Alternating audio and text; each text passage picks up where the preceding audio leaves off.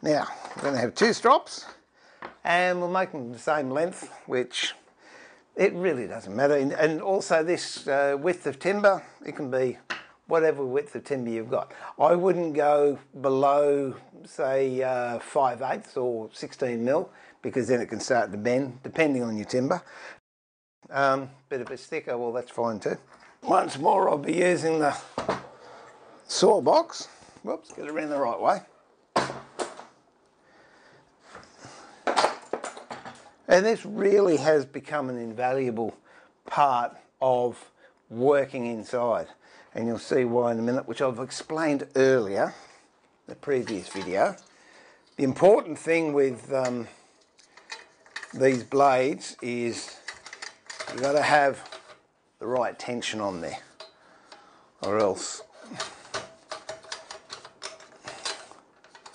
there we go it doesn't work properly. So what I want to do is square the ends off first. Pop them in there and there we go.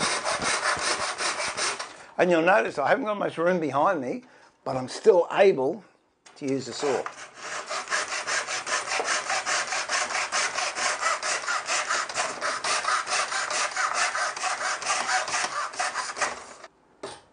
Two square ends and I'll cut these at 290 I think.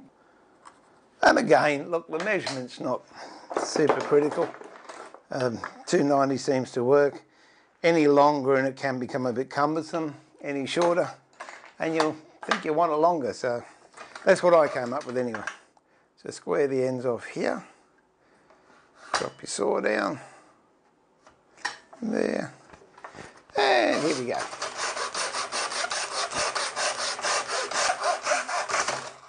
Now, I did say before there's a big benefit of having this type of saw. Once more, it's to do with cleaning up. If you look at all the mess on the saw, it's all on the saw, it's not on the floor.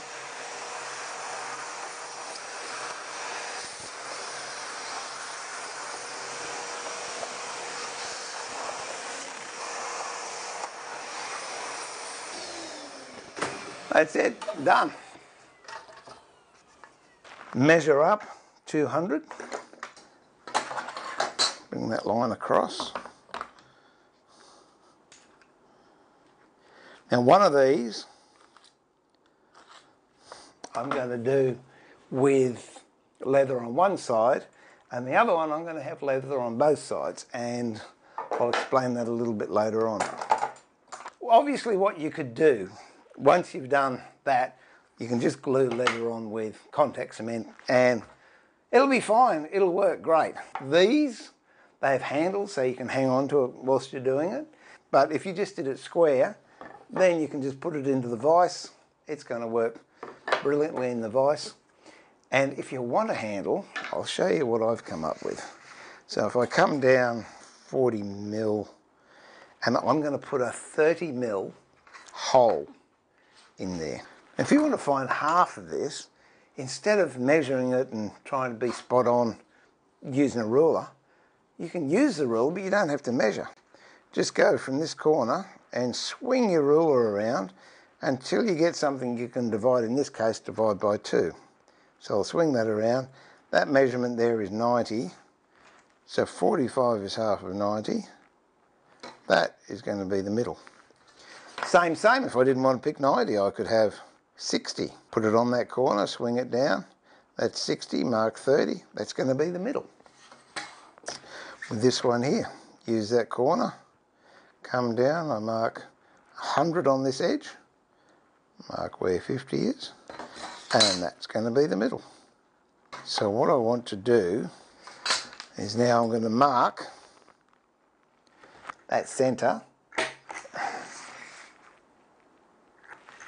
in both of them and get my drill. Put a very fine bit in there. I'll use my bench hook that we made in the previous video. A bit of sacrificial timber on it and I'm going to drill straight down.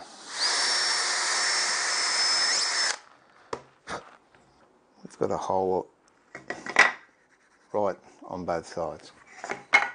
Grab a compass. There's one here. I'm going to use this Forstner bit, and I know it's 30 mil, so I'm not worried about drawing the inside circle.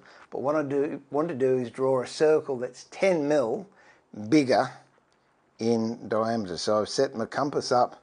This is 30 mil, which is a radius of 15 mil. I've set my compass up to have a radius of 20 mil,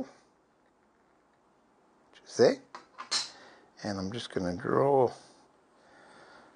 a circle on both sides. Get the bench hook again with a bit of sacrificial plywood in it. Forstner bit. Now you can use a spade bit. I don't particularly like using them, especially indoors, because they make such a mess. And also the depth of the spade bit, the pointed part of the spade bit, goes into your job too far. Whereas here, I just want a little bit of a nipple coming through on the other side so I can drill back on it. I'll show you what I mean.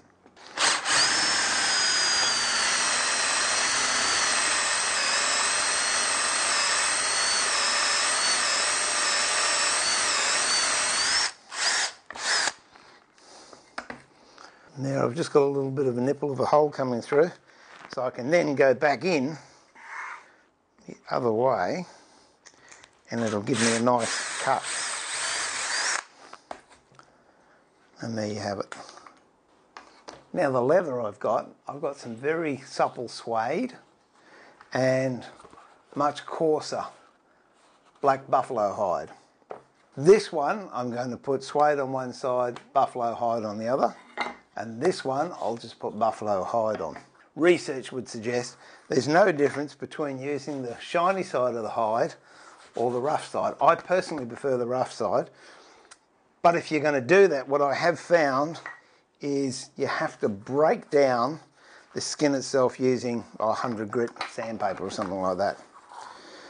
So I'll just give it a rough. I don't know if you can see that, but the glue or whatever it is they've got in the tanning process comes off and gives me a much better surface to grip on. I have tried before without sanding it and the contact cement just congeals into little pools and it won't stick to the skin. The suede on the other hand, it's fine, it'll glue straight on. So what we might do is We'll cut a straight edge first, make sure this is going to be long enough. Yep. We'll cut, ouch. We'll cut a straight edge off of here.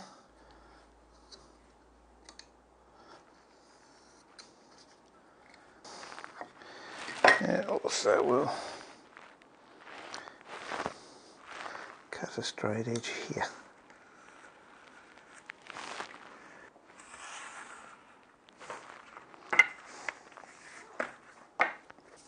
Bit of paper down so I don't make a mess everywhere. Make sure you get a good coating on all the leather.